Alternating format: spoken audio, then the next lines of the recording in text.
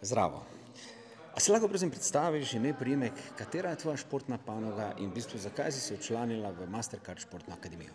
Uh, sem Tjana Novak, prihajam iz panoge rokometa, uh, igram pozicijo srednje, srednji zunanji. Pa, um, za športno akademijo sem se odločila zaradi novih izkušenj in uh, novega znanja v širši obliki športa. Um, pa pogovarjala sem se tudi z prejšnjo članico športne akademije Lenino Behin in se mi je zdelo zelo zanimivo. Kaj misliš o tem, da pa nekateri športniki dosežejo svoje cilje, drugi pa ne? Kaj misliš, da je razlog? Ja, eni imajo več talenta, eni pa ne. Uh, eni se zato tudi veliko trudijo, trenirajo, da bi pa to usvojili.